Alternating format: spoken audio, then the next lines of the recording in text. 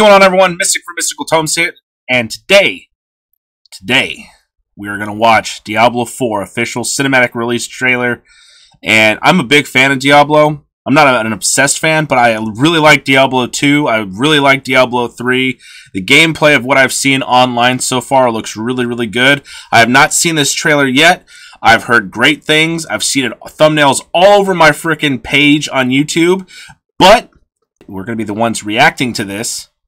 And if you enjoy my reactions, you enjoy my commentary on this, if you enjoy it with me, please leave a comment like a thumbs up or say, hey, I think they should they could do better on this with this, or hey, I think it's flawless the way it is. That's just what we do here. We give honest feedback in the comment sections, and I want to hear from you guys what you think they could do better or what they should just keep in, you know, whatever.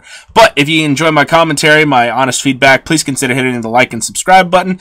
And also, if you're feeling so generous, please consider becoming a member of my uh, community of Mystical Tomes, where we have uh, more exclusive content, uh, stickers, gifts, all that other stuff. So, without further ado, let's continue.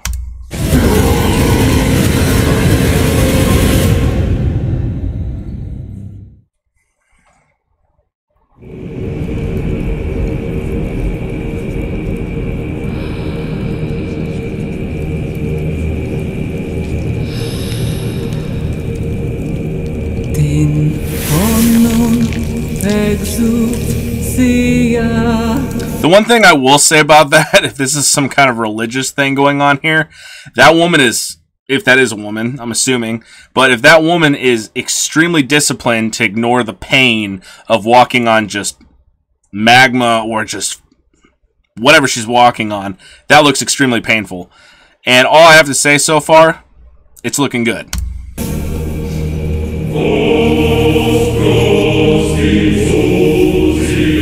getting chills right now.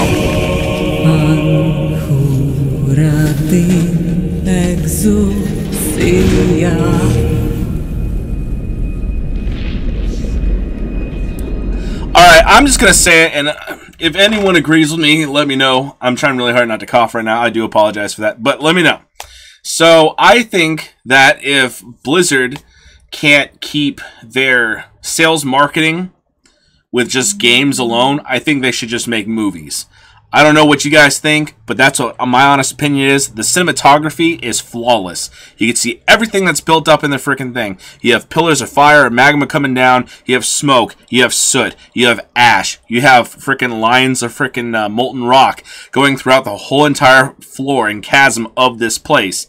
And they have all that cinematography, all the freaking shades of the reds, the whites, the blacks, um, everything just adding to the ambiance of this whole entire situation. Then you have that legion of knights or whatever they are, humans, Nephilim, whatever, and it looks absolutely amazing. Those guys look like literally brick houses just with those shoulders as wide as they are. They look absolutely intimidating. But hopefully they actually do uh, a decent number against these demons. I don't know what's going to happen, like I said.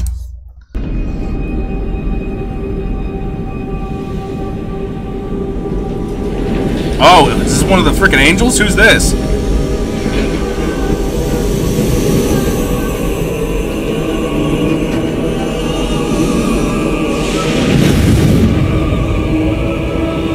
That's a much wider wingspan than a lot of the other angels of the...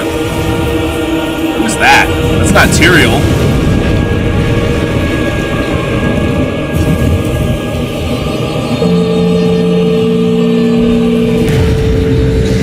That's pretty sick. He just waves his hand and a great deal of pain goes on him. May we fight true in his holy name.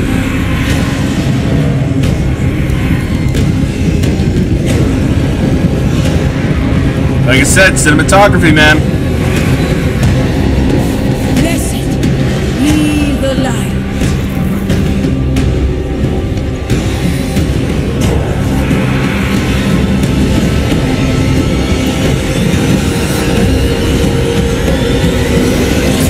Okay, that was a sick move. Man, that was a very, very sick move. 30 foot long spears, yeah, that'll do it. And they're like in a phalanx. Yeah, that's sick.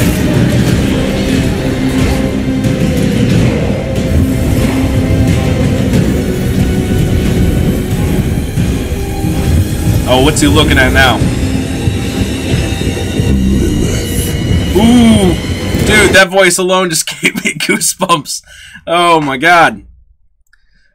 I, I'm I'm assuming, and this is just me loosely speculating on here, because that's not the same armor as Tyrael, and Tyrael doesn't have a spear from what it looks like, because his sword, the sword handle is a sword handle with a pommel handle and a crossguard. This one, it just looks like a shaft of a spear or something. So I could be wrong.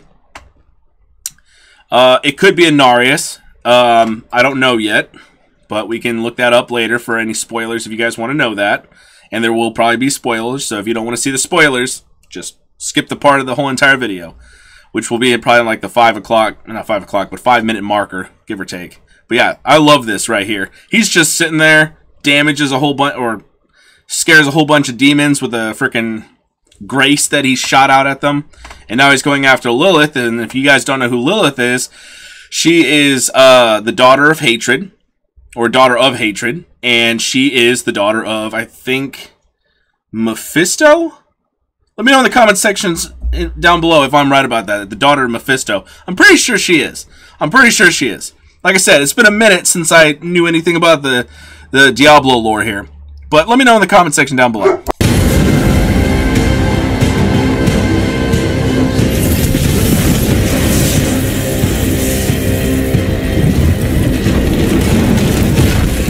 I will say this: if that is Inarius, he basically brings the MVP of all entrances. He has so much light, he has so much power that the energy coming off of him is creating cracks in the floor before he even touches them. His mere presence is literally causing pain to these demons. And that's just, it's a badass entrance. It is literally just a badass entrance. And so, with that being said, MVP to Inarius, if that is Inarius. Because it it looks completely different from Diablo 3, but they could have done a design change on it.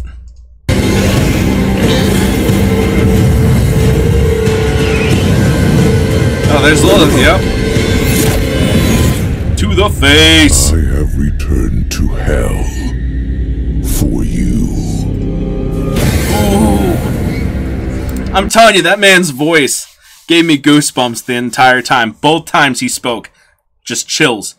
But we're going to have spoilers here in just a moment. If you guys want to skip it, go right ahead. I'll let you know in the time mark where you can skip that. And I'll also give you my review at the end of this. So, without further ado, let's get into the spoilers. Alright, so I'm on the Diablo fan page, and what I found on here, or Diablo Wiki, whatever you want to call it, uh, after the destruction of the Black Soul Stone, the defeat of the Prime Evil, the fall of Malth uh, Malthael, Angel of Death, countless lives have been lost, and the denizens of Sanctuary find themselves struggling through the darkest of ages. Years have passed as some semblance of regular life starts rebuilding, a threat as old as the land itself begins to stir. Now, with that being said, here's another paragraph. This is from Diablo fan page. This is not my freaking information, so I want everyone to know it came from this source right here. So, that's what it is. It takes several decades after Diablo 3. Millions have been slaughtered by the actions of the high heavens and the burning hells alike. In the power vacuum, a legendary name resurfaces Lilith, daughter of Mephisto. So I was right on that. Whispers a progenitor of humanity. Her grip on Sanctuary cuts deep into the hearts of men and women alike, cultivating the worst of in its denizens and leaving the world in a dark, hopeless place. So, with that also being said, the main plot is similar to Diablo 2, in that is the following the footsteps of the story. Specifically, the game player characters is or are pursuing Lilith across pursuing Lilith across Sanctuary. Core theme of the game is hatred. The motif of hatred consuming the world and the heart of the players player characters. So I'm not going to tell them any I'm not going to tell you anything else. That's the main plot. So that's the spoilers. If you want to read the rest of this, it's on diablo.fandom.com. Go check them out. It gives you a very long and detailed freaking intro to that. And then for my review, I gotta say 10 out of 10. It had everything. It had the cinematography. It had the the ambiance, the atmosphere, the build-up. And then we have Inarius, which we barely had any kind of connectivity of Diablo 3 because you just found, you know, the, the writings of Inarius in his, you know, 10 pages that we find of him or whatever. But, um, Inarius looks like a complete, uh, he looks like a complete awesome character. He's there for vengeance, and he's there with a burning hatred for Lilith. Clearly, you could see that in the trailer. So, if you enjoyed my reaction, the spoilers, finding out what the main plot is of this, if you like my commentary and my review of this, please consider hitting the like and subscribe button. And also, if you feel as generous as you much as possible, uh, you know, you guys are always welcome to subscribe. Doesn't cost a thing. And if you want to feel even more generous, please consider becoming a member of my channel, where you have more exclusive content and it also helps me out so independent YouTubers like myself, we can actually make a living off of this. This is what I've been wanting to do for like the last three years. So if you do feel so inclined to do that, let me know. If not, it's not a problem. But thank you for your time. I'll see you guys in the next video. Mystical for Mystical Tomes out. Take care.